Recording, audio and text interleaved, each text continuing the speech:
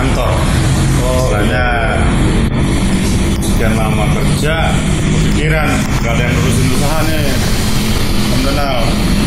Iya. pada nurusin usaha mana ya pikiran setiap ketemu teman wah kamu kok ngapain kerja katanya kan sama orang padahal punya skill kata Ya, ya, ya. kalian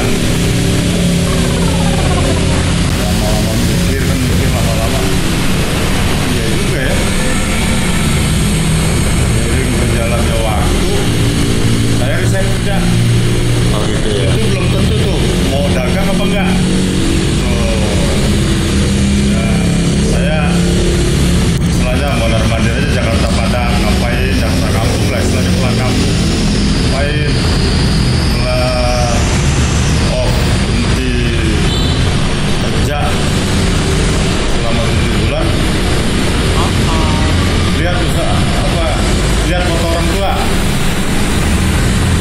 ingat orang tua Oh, ya? ingat orang tua, tapi saya lihat fotonya orang tua saya ini dulu bisa hidup di Jakarta ini bisa kegaji orang nggak usah rumah makan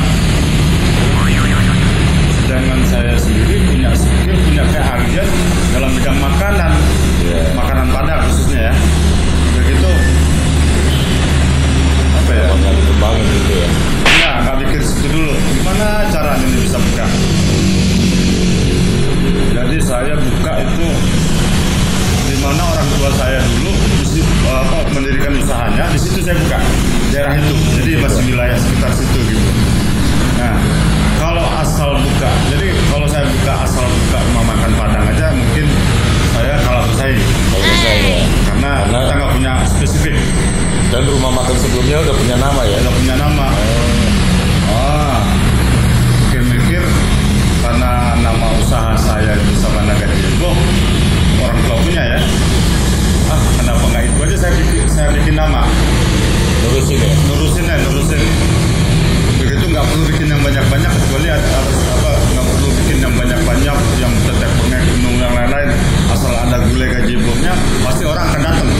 Oh ini kalau di sini andalannya Gazebo. Gazebo itu Ya, ya? nah, gajebo. Jadi 2017 saya beranikan diri buka dengan modal seadanya. Istilahnya bukan seadanya lah untuk mau mendirikan usaha itu cukup lah istilahnya kan gitu. Jadi kalau dibilang restoran tidak, dibilang warung kaki lima tidak. Jadi di antaranya seiring berjalannya waktu alhamdulillah kita buka saya minta tolong sama teman-teman itu om Iya. jadi saya nggak nyari anak buah Oh teman-teman semua yang teman-teman ya?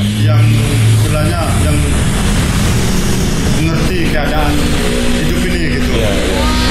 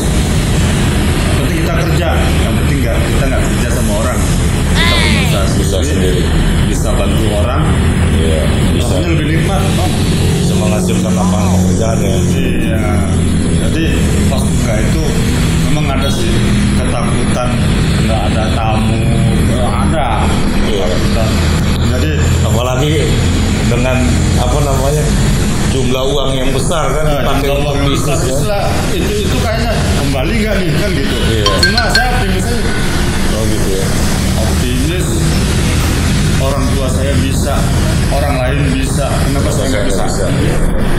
begitu kita nggak pertama buka itu kepikiran. Kita nggak butuh tenaga ahli masak atau istilah orang Karena sekarang. punya skill, iya, kan? orang orang sekarang bilang chef katanya tukang masak harus bayar mahal segala macam. Saya ketawa. Saya sendiri bisa masak? Bukan bisa. Kalau ukuran untuk orang Padang orang Minang yang ada di Jakarta saya mungkin seumuran saya ini mungkin gimana ya? Yang belajarnya otodidak dari orang tua dari dasar tanpa menjadi anak buah orang kita meneruskan usaha orang tua. Ini contohnya nulis usaha orang tua sekarang nih. Saya waktu buka tuh saya undang tamu-tamu bapak saya almarhum bapak saya ya tamu-tamu teman-teman almarhum bapak saya untuk mencicipi. Apakah sudah berubah produknya. Atau Apa tidak. rasanya masih sama ya? apa rasanya masih sama? Ya benar.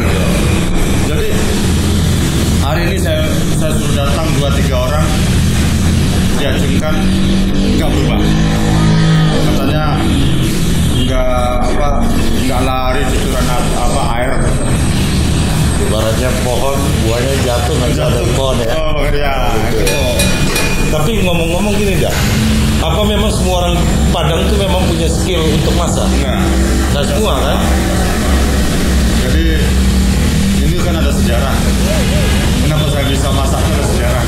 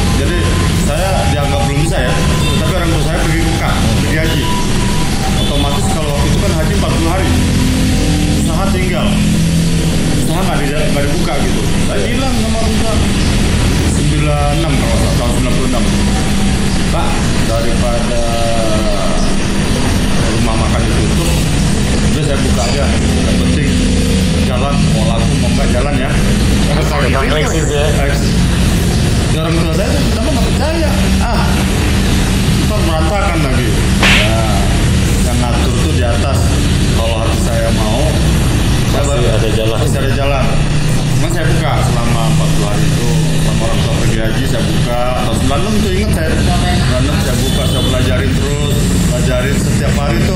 Saya tanya sama men sama tamu-tamu di rumah makan bapak saya apa yang kurang? Kurang garam kah? Kurang apa kah? Kamu dengan senang hati. Kasih masukan. kasih masukan. Karena dia tahu orang tua saya lagi pergi ibadah nah lama-lama saya beranikan diri menggantiin orang tua 2001 2001 ya? Nah, 2001 lu mengganti orang tua tuh. 2001 orang tua saya nyerahin telak-telak ke saya sampai 2007 udah kamu aja ngendalin tapi kasih gaya gaya adil tolong bantuin. Kasih bapak orang orang kan gitu. Nah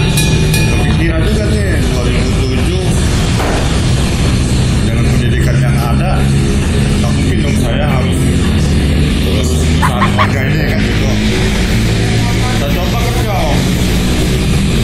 memang kerja itu kelihatan gitu. ini ya, ah. ya. ini kerja kantor. Anak keluarga bangga. Anak saya kerja kantor perusahaan itu. Memang sifat manusia itu kan apa namanya pengen nambah terus ya.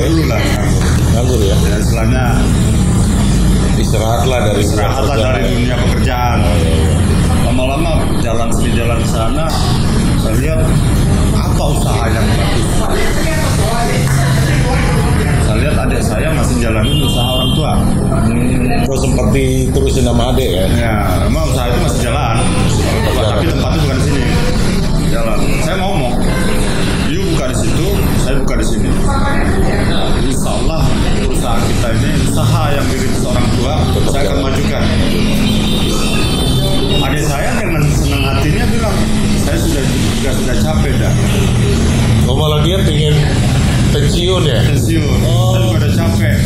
Saya tidak saya merasa juga tidak bisa mengembangkan uh, eh, apa, warisan dari orang tua ini. Selanjutnya warisan usaha dari orang tua ini. Pas dia ngomong bisa tangkap. Langsung udah sekarang gini aja kamu istirahat saya tangkap. Tapi saya nggak di sini. Itu aja tempat ini. Saya tidak di sini. Saya juga ya saya cari tempat. Kenapa? Karena untuk merubah image performance itu harus dengan tempat tangkap suasananya bersih atas segala macam yeah. suasananya bagus gitu kan. Dengan senang hati dia bisa ngomong begitu dia istirahat ya tanpa pikir panjang kebetulan tempat TK ini teman saya yang punya saya ngomong. Saya nanggung saya belum usaha. Tempatnya saya pakai. Dan dapat tanggapan ya? Langsung. Hari itu juga dia kasih ini. Respon. Respon. Dan anda berani bayar berapa? dua udah kalau nggak usah disebutin angkanya deh. Iya, iya, saya berani sekian. Tambahin deh, anak saya coba dulu dua tahun. Kalau oke, okay. Jadi dalam tanpa ada ngaling-ngaling nggak sampai dua tahun loh, enam bulan itu memang perkembangannya bagus.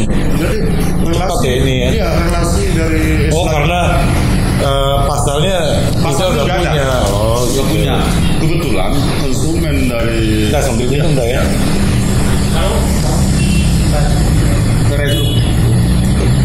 ya, ya. konsumen dari dari apa? Dari tamu yang lama itu kan banyak yang nggak datang sama ke saya saya promosi juga sama teman-teman. Bahwa ini sekarang udah buka usaha. Rumah makan. Namanya apa tadi? Sabana Gazebo rumah makan Sabana Gazebo Sabana Gazebo Ya, nah, Sabana Gazebo Jalan Pramuka Raya. Iya. Oh iya aku juga lupa ngasih tahu. Ini posisinya di depan pasar Pramuka ya, ya pasar pasar obat pasar obat Pramuka. atau pasar ya. burung gitu ya Ya. posisinya. Jadi oh dengan saya buka ini yang puas tuh bukan saya, tetapi konsumen-konsumen tiga generasi dari bapak saya. Iya, iya. Ya, dia pada datang, eh udah buka lagi, sudah lagi, sudah lagi, sudah lagi, mirip dengan bapaknya. gitu. Oh, begitu rasanya sama. Akhirnya lama-lama Jadi mulut ke mulut ya. mulut ke mulut. Nah, saya udah punya planning bla bla bla. Oh, dengan dengan dari 2017 sampai 2020, akhir 2017 sampai 2020 ini memang ada peningkatan. Grafik itu naik terus. Grafik naik terus. Jadi kalau istilah orang sekarang- nih, revenue dengan value-nya sudah berimbang. Sudah sudah bagus gitu. Iya, iya. Kalau istilah-istilah kantor ya, kalau di rumah makan orang nggak tahu. Iya, iya, iya. Nah, jadi saya promosi ke teman-teman. Jadi yang ramai itu teman-teman dulu, bukan komunitas Padang aja, bukan komunitas Minang aja.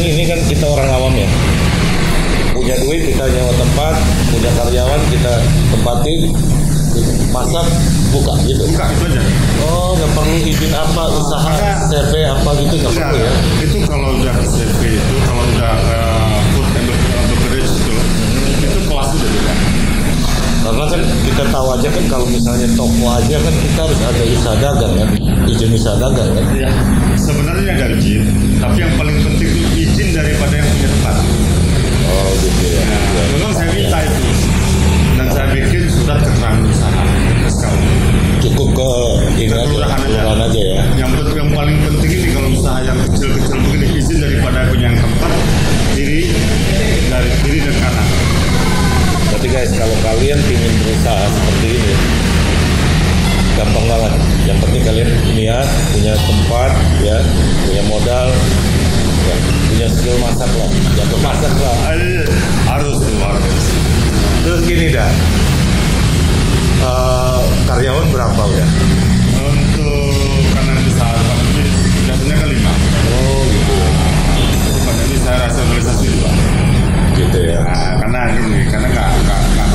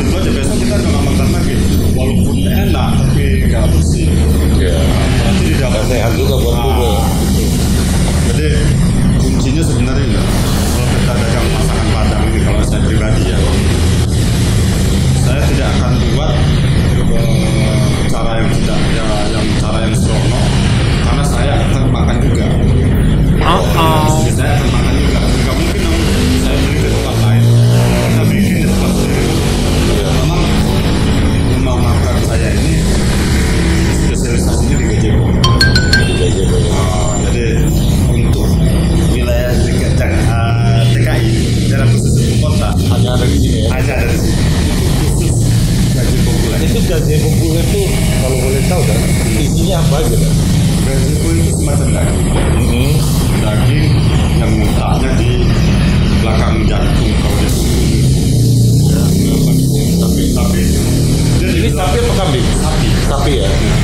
Tapi dia bilang dia uh, apa gemuk kan dia. Itu kalau bahasa bahasa Jawanya itu pagi itu kalau masalah satu kampung itu gaji ibu itu bahasa pangan gaji ibu bahasa tapi konsumen gaji ibu ini mulai gaji ibu yang ada di sini bukan 100% orang Padang. Boleh dikatakan 40 60 40 orang Padang 60 orang Jawa. Kayak Indonesia ya campuran rasa ya. Karena saya cari gitu orang tanya kenanya apa itu gaji ibu? Makanya di merek usaha merek dagang pengen dipatenin ya? Enggak rencana ada. Ada seperti itu. Ah, memang ada rencana saya mau patenin. Tapi bukan sama naga jerunya masakannya aja sama naga masakannya sekitar gitu kan ini nama rumah makan iya, ya? nama rumah makannya. Jadi ada logonya. Jadi ada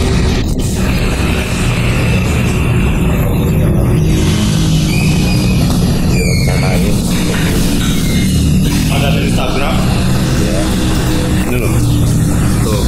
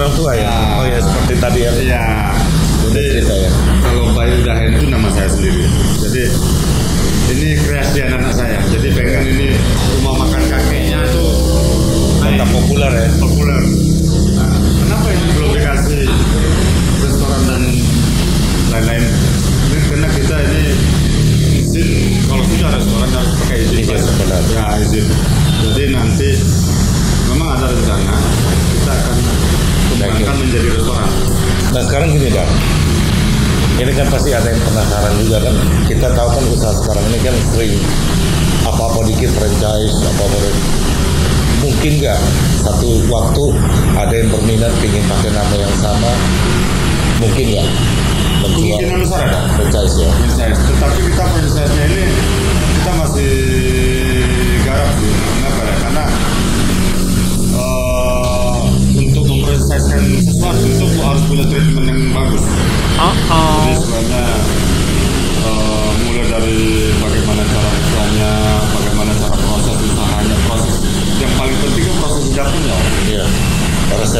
resepnya. Jadi kita harus bikin dulu itunya. Jadi Tapi setelah- sorry Kang, aku potong ya. Ngomong-ngomong resep yang andalan menu tadi itu sempat nyebar nggak? Belum ya? nggak walaupun nyebar tetap orang nggak bisa. Nggak bisa. Nggak, belum, nggak. Oh, karena citra rasa ya Ya, 50% Padang, Jawa, ya. lidah Indonesia lah ya. Oh, Karena kelasnya masih di bawah restoran, kita tidak bikin Belum. menu restoran. Iya. Kenapa kalau menu restoran kita bikin, berarti kan nanti warga sekitar berpikiran, oh, harganya tinggi. oh iya, iya. Jadi kita bikin standar, Standar. tetapi orang Iya, iya. sukai. Nah, saatnya nanti, memang ada rencana sih. Mudah-mudahan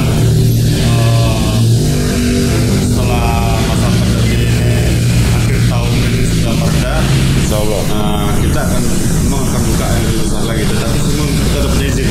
Jadi nanti rencana ya. restoran dan restoran. Rencananya kelanjutannya di mana kan? Masih di daerah sini juga apa di luar Jakarta apa Nah, eh, masih di masih di DKI. DKI juga ya? Tapi kita punya kelasnya itu bukan kelas high ya, bukan, bukan kelas tinggi ya. Tetapi siapa pun boleh datang Standar. standar yang kita bikin lengkap restoran dan buffet. Jadi ada masakan padangnya, ada sate padangnya, ada bubur kampiunnya,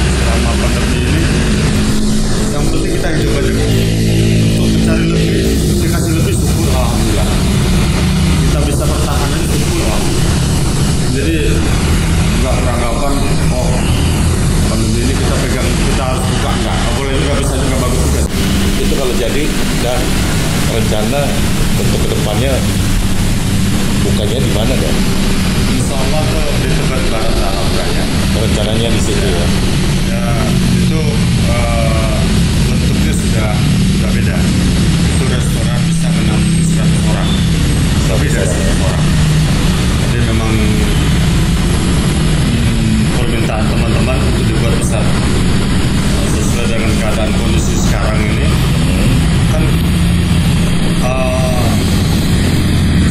kita apa makan padang ini kan prinsipnya orang tuh ingin makan aja gitu. Kayaknya lebih cepat gitu ya gimana?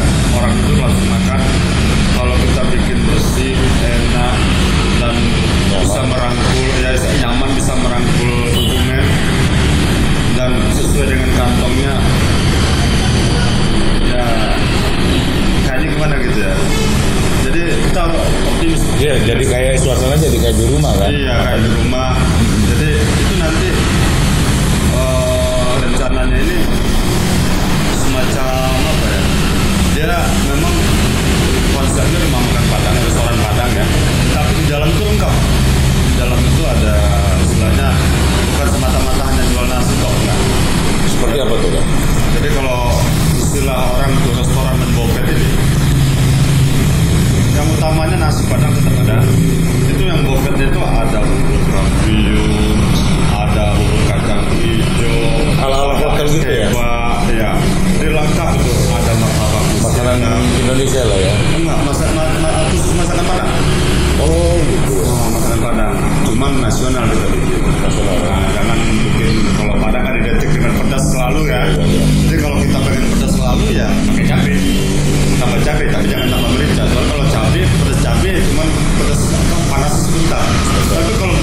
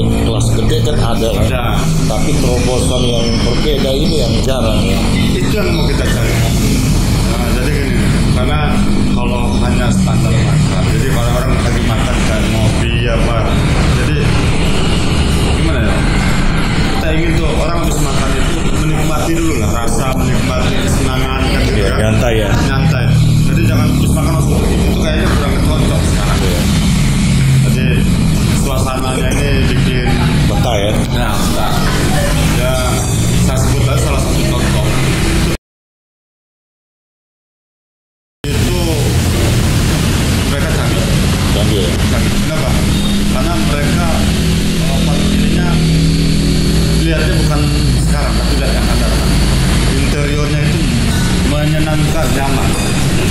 Kita kita ingin seperti mereka, tetapi kita ada yang berbeda lagi ada ya yang berbeda lagi. Jadi nanti kalau seandainya umpamanya satu minggu kita live musiknya, kalau kita dapat izin kita kasih siang supaya orang tamu yang datang itu senang. ya karena Sabtu kan identik Sabtu minggu kan identik keluarga. acara keluarga kan ya Iya. Siang. Juga.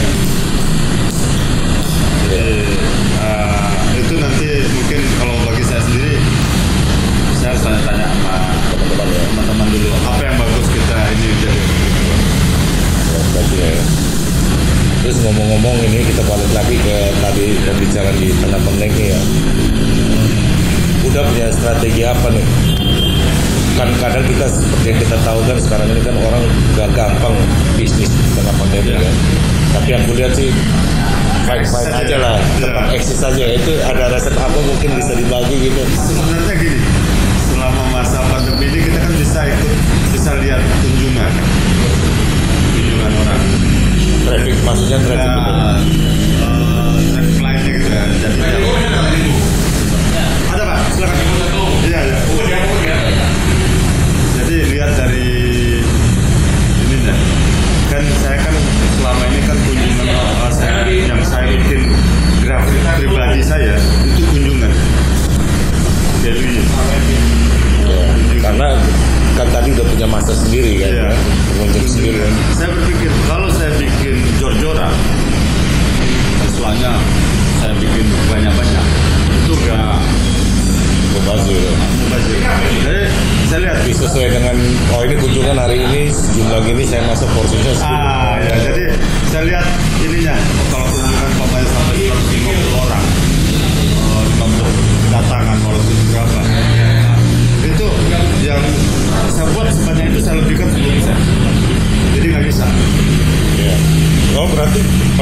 ini setiap hari masak ya? Iya, kita nggak bisa kalau masakan padang kita nggak bisa di stop. Maksudnya kita panas-panas saja nggak bisa harus tetap fresh ya? Jadi saya buat pagi jam 10 saya buka saya tutup. Ya. Jadi hari-hari itu baru semua. Langsung di situ. Di situ ya. Jadi. Jadi tidak tidak ada belakang barang Oh, iya, ibaratnya buat sekarang itu besok enggak. Iya. Jadi kuncinya baru semua terus Makanya ya. itu yang saya jaga kunci sebenarnya itu. Ya karena jadi guys kadang kan kita juga makan ketemu ikan ya kalau di tempat lain kan daging yang rasanya udah kayaknya makanan kemarin ya dipanasin. Ya. Kalau di tempat ini semua serba fresh. Jadi baru semua karena sesuai dengan jadi saya nggak bikin mentang-mentang ini laku kita bikin banyak enggak. Jadi kita bikin porsinya. Oh ini sekian orang kain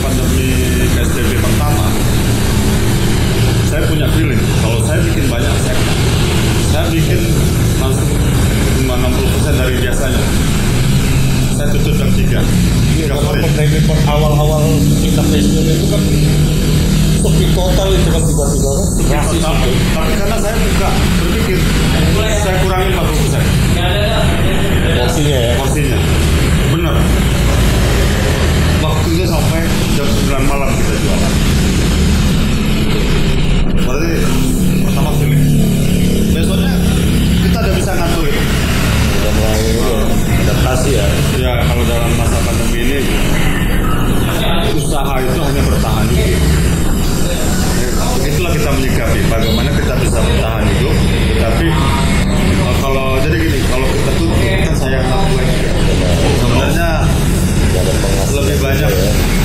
ruginya sebenarnya kalau kita buka pandemi tapi kalau pemerintah bantu sih ya untuk itu Bukan yang paling ada bantuan kita nggak ada dari pemerintah itu. kita nggak ada kita nggak ada Apa karena memang tidak bagian dari program atau gimana? tidak karena mereka menganggap kita mampu Oh, ya pekerja pedagang kecil ya. Iya. kita UMKM gimana ya kita masuk golongan UMKM yang mapan Kenapa ya? Yang tidak diprioritasi iya gitu ya. iya jadi kalau UMKM yang menengah ke bawah itu kan ada yang hanya modal 30 40 juta gitu kan. Tuh, kita kan bikin dulu juga lumayan ya Iya. udah bicaranya udah ratusan Iya, iya. makanya kadang pikiran konsepnya ke depannya mau makan padang inovasinya seperti apa mungkin om nanti bisa kasih masukan buat saya gitu soalnya inovasi yang penting Iya, memang harus beda, berani tampil beda sih. iya Ibaratnya rasa rasa mungkin boleh sama, ya kan? Tapi ada sesuatu yang berbeda di iya sini. iya Gitu. Seperti mungkin tadi ada live musiknya kan? Iya. Karena kan kita tahu ya, jarang memang ada restoran Padang yang lengkap dengan live musik, tempat pertemuan, Iya. tempat.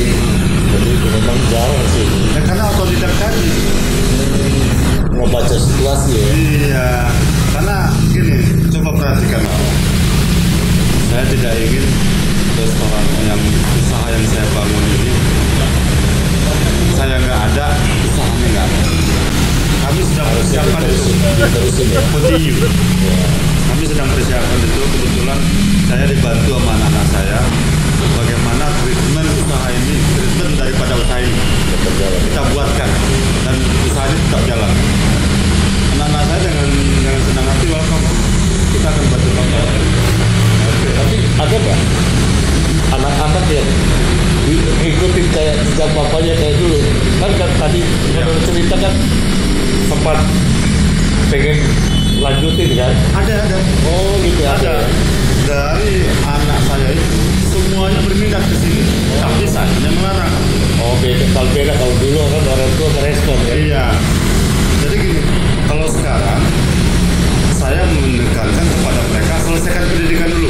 Iya ya. Sama dengan bapaknya dulu. Bapak selesaikan pendidikannya dulu, baru masuk ke ini gitu. Ya. Ah, tapi dalam ah, kan semuanya udah pada kuliah ya, udah pada mau tamat gitu ya. Mereka udah siap-siap ini akan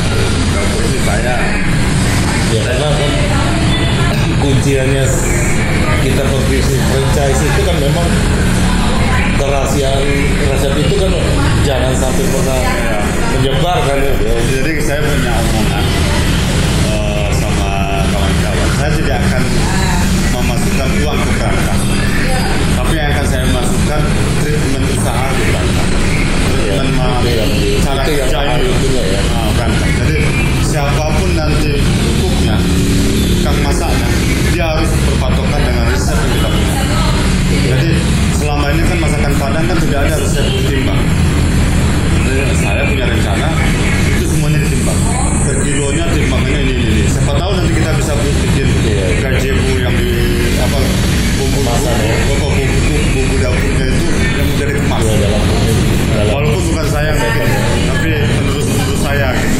itu kan sempat populer ya iya kalau nggak salah kan dulu ada bumbu rendang ya iya Gule. apa tapi semua dalam kemasan ya oh waktu itu kan yang membuat itu bukan orang Indonesia tapi orang Malaysia oh di Malaysia kan nah, kita udah telat ini udah ya karena kan sempat populer dulu itu kan dalam kemasan ya. Iya. sekarang saya punya rencana seperti itu India udah bikin kita punya. tapi kan itu memang semuanya perlu dukungan pemerintah sih ya benar kita nggak bisa apa-apa kita aja kalau kan apa apa kan seperti kita tahu kan kenapa mahal ya di Indonesia ya Harus izinnya iya. repot ya. banyak pintu ya banyak gironya terus dipersulit duit mahal ya. Jadi memang